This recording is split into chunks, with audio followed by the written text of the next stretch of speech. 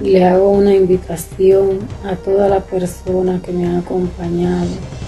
Hoy es cabo de año de mi hija, cumpleaños, hace siete años que me asesinaron a mi hija.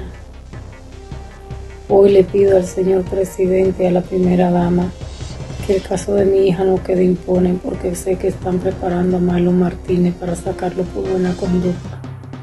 Apiádese de mí, señor presidente, por favor que mi dolor y la muerte de mi hija no queden impunes. Gracias, me siento agradecida por toda aquella persona que siempre me han acompañado y que no se olvidan de mi hija. Muchas gracias.